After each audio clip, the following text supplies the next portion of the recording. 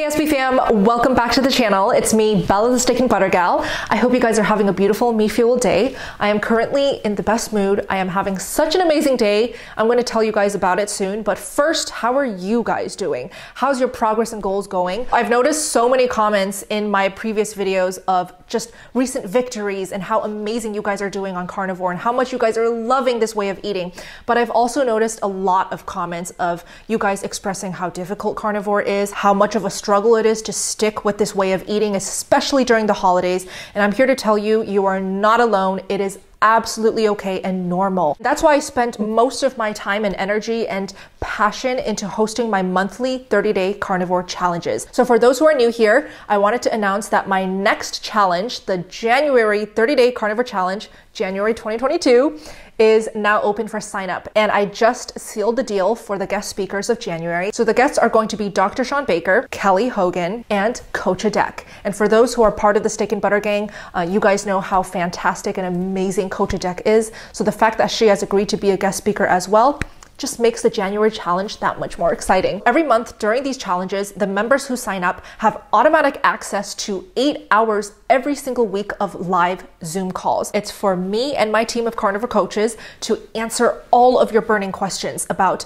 carnivore diet, about weight loss, about hormone healing, pretty much anything that you want to ask regarding carnivore health, fitness, weight loss, fasting, we take the time to answer it for you guys. Throughout the week, we have different calls uh, focused on different topics and specializations. So Tuesdays is a day of just community, connecting, bonding, uh, cheering each other on. The coaches are there to answer all of your questions as well, always. Uh, Friday, we focus on weight loss, and this is led by Coach Steven. So Coach Steven will be leading the weight loss meetings as well as the carnivore health and fitness meetings, where he answers all of your questions regarding whatever struggles, health concerns you are having, how to understand and read lab work and blood tests numbers as a carnivore, and all fitness related questions. And then we have feasting and fasting classes hosted by Coach Raymond Nazon and Emily Harveaux. Emily, I actually featured in my last video, so definitely check it out if you want to get to know her. But they are the dynamic duo of the year, and they teach these feasting and fasting classes every Sunday evening. And of course, you guys will have access to all guest speaker meetings, and that includes Dr. Shawn Baker's, Kelly Hogan's, and Coach Adek's guest speaker meeting. So the January 30 day challenge sign up link is down below. If you have any questions, just DM me on Instagram or email me. Let's get into the updates. So the past month,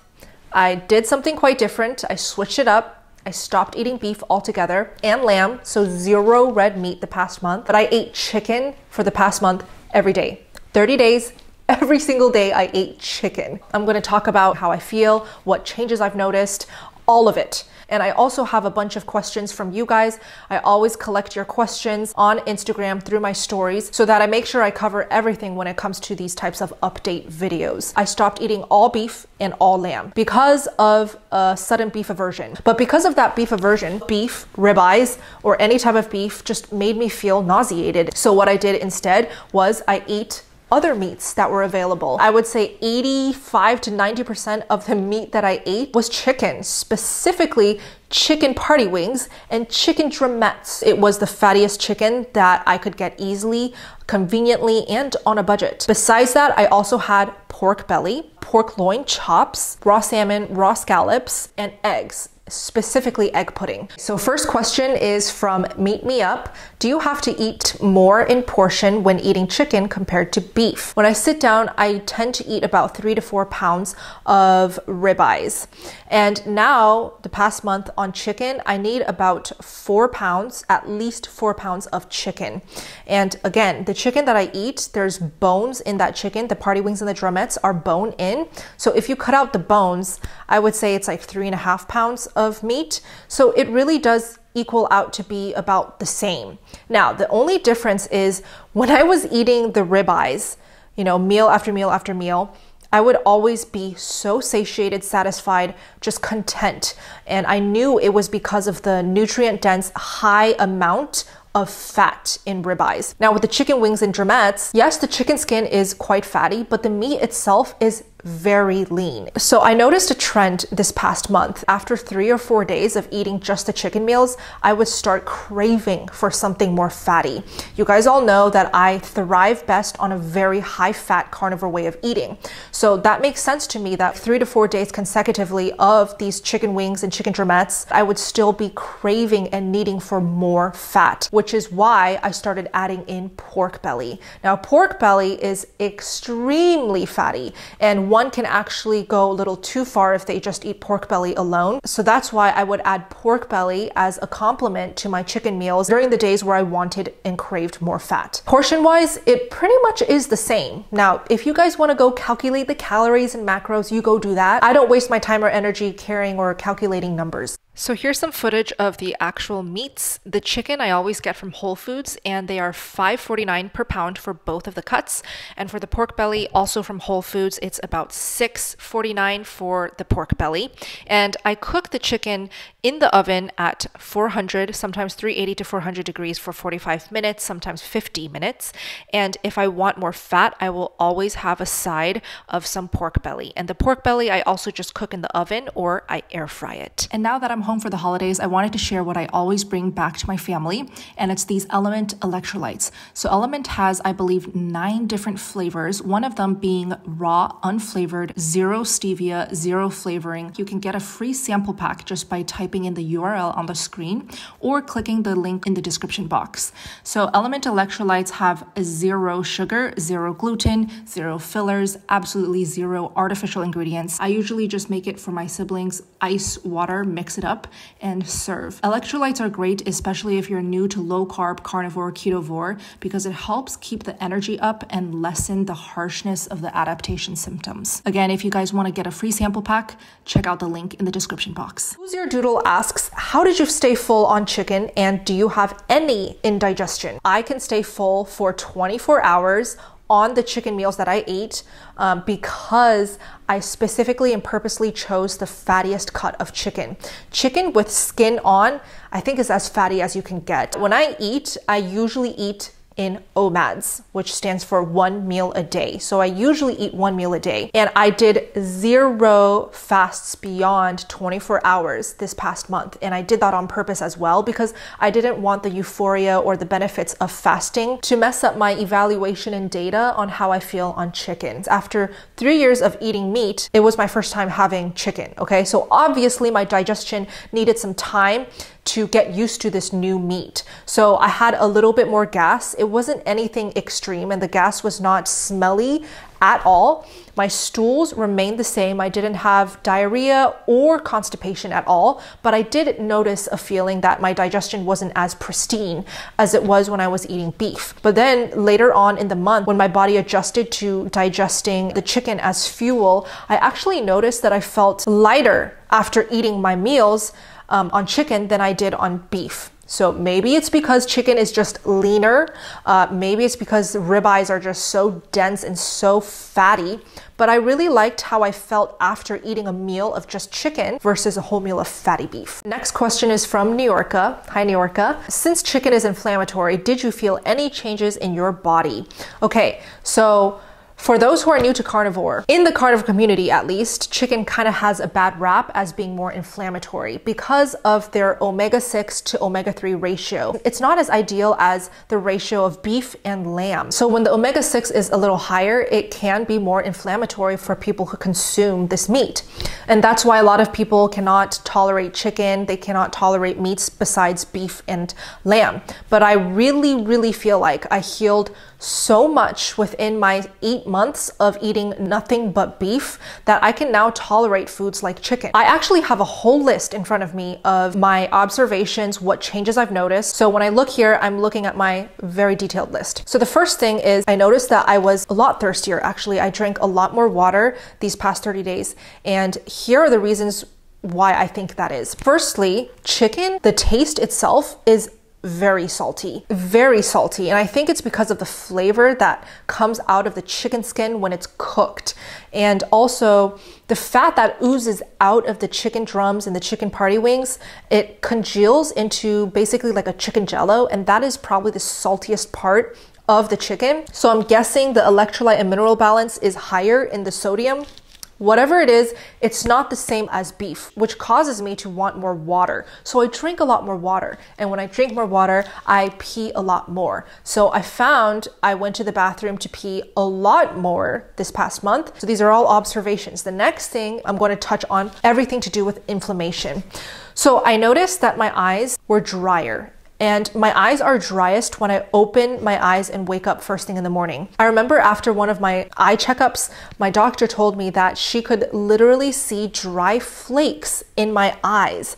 Um, that's how dry my eyes were. So I've always struggled with extremely dry eyes. When I went carnivore, the dryness in my eyes have only improved. And I have to say, when I was beef only, it was at its best, at its most moisturized I've ever felt in my life. And on chicken, I do notice a noticeable difference in how moisturized my eyes are. The skin never broke out once, which is awesome. Okay, so uh, I did not have any cystic acne, any bumps, any pimples, any blemishes at all. Also, my eczema did not flare up, my psoriasis did not flare up. However, I did notice that my skin moisture was also a little bit drier than usual. Next thing is puffiness. So after eating a huge meal of chicken, I definitely noticed that when I wake up the next morning, my eyes are puffier than usual.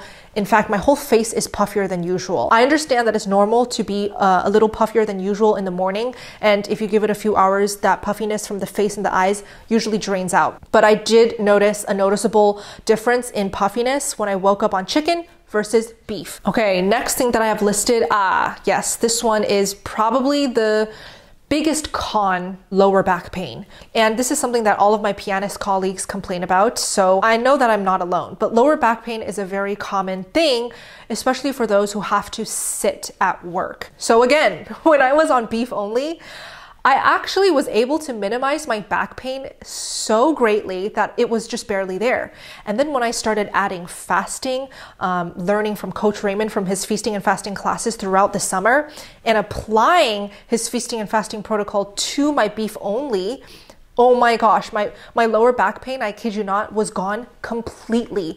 I could sit in front of a computer or a piano for like five hours straight or more, and at the end of the day, zero back pain. Like my whole body was just loose and flexible and not stressed and tight.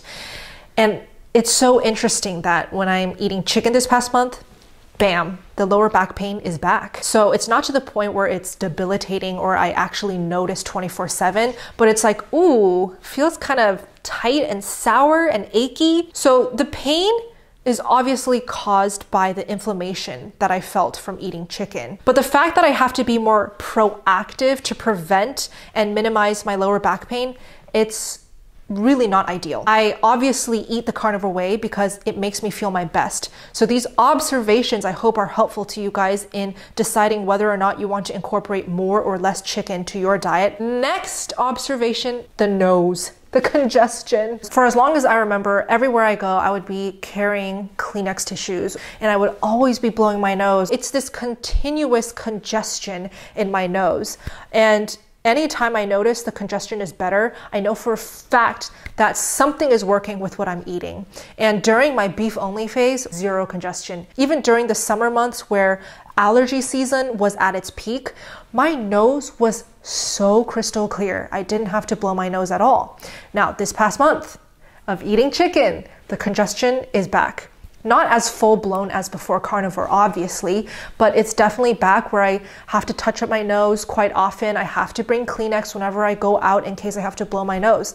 Maybe it's also because it's a lot colder. It's such a noticeable difference from eating beef to chicken that I know for a fact that the chicken is congesting my nose and causing my nose is back to being runny. Next question is Did you feel any different on chicken versus beef? Now, I'm going to use this question to take a moment to talk about my energy and uh, my mood, which is a huge thing for me as well. So I know the past observations I've shared have mostly been cons, but here is where I can really share a lot of good things that I've noticed after eating chicken for a month. I have to first preface by sharing that after I had Dr. Rimka on my channel, she mentioned how A type personalities, how uh, very driven and ambitious people are usually low methylators. And she said that these type of people can benefit greatly from more glycine in their diet. And I remember scrolling through Dr. Rimka's feed on Instagram and seeing one of her posts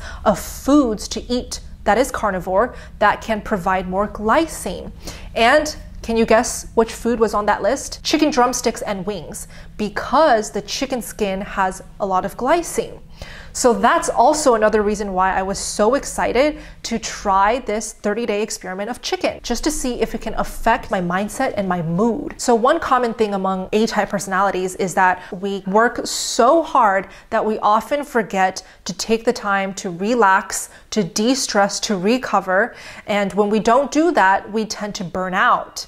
And I noticed that this past month, I was much more mindful of taking breaks, of spending time with loved ones, of boosting my oxytocin for the day by cuddling with my dogs, by bonding with my boyfriend, by spending more time catching up with my friends. I feel like this really made a difference in my mental health. I just felt a lot more calm, uh, less anxious, and in the moment this past month. And I have to say, it's because of the glycine in the chicken skin.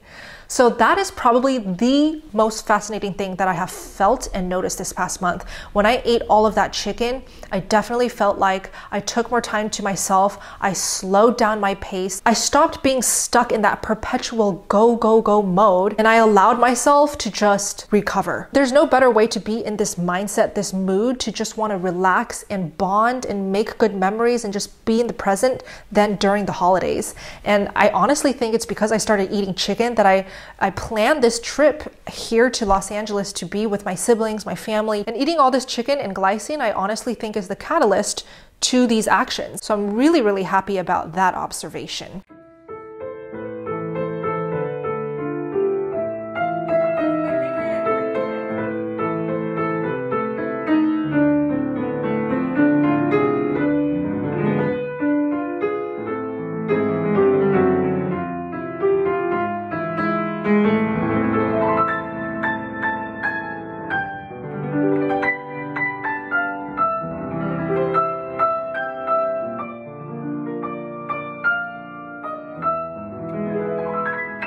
Did I notice any changes to my body? So firstly, I did not weigh myself. I don't use the scale. I have not been using the scale for years now. And it's because I know for a fact that that number on the scale does not mean anything to my body composition. Now, body recomposition I have noticed in this past month, but I cannot pinpoint um, that it is because I've been eating chicken or whether or not it's because I have been eating OMADs every day and not doing any fasting. I've noticed that my waistline, my stomach area is still the same. I don't see that I've gained any fat or water weight in the areas that I would prefer to stay the same. And that's my waist, legs, arms, face. But I have noticed some positive changes to my female parts. In other words, my boobs and my booty. And it's really nice. I feel like I fill out my clothes more in those areas. And my clothes are usually very stretchy. Like I love wearing sweatpants or yoga pants or stretchy tank tops and shirts. So I can't really use clothes as a marker. Um, but I definitely feel like I did not gain fat. My body recomposition is continuing to improve, including this area right here. And the last question is, am I going to go back to beef only.